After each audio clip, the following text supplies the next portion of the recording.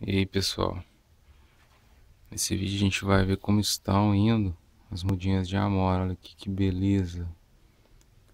Quanto elas estão bonitas, olha só.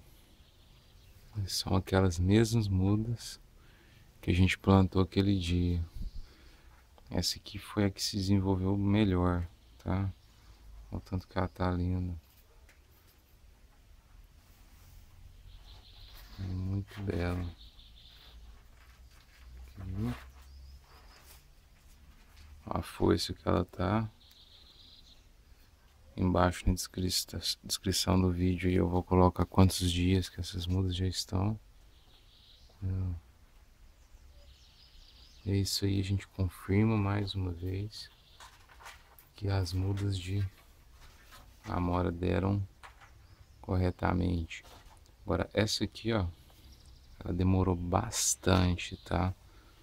É, então, às vezes você acha assim, ah, não funcionou, vou desistir, vou jogar fora. Não, não faz isso não. Aguarda mais um tempo, porque foi o que aconteceu com esse, com essa mudinha aqui, ó. Enquanto algumas outras aqui se desenvolveram bem mais rápido, essa aqui começou a se desenvolver só agora, ó.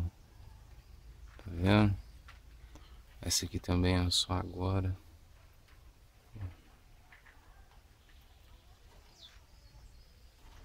Tá certo? Então tem que aguardar mesmo, viu? Aqui que beleza aqui, ó. Esse aqui tá até soltando os frutinhos, ó. De cá e de cá.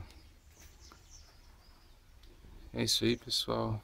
Eu espero que vocês tenham gostado dessa série, né?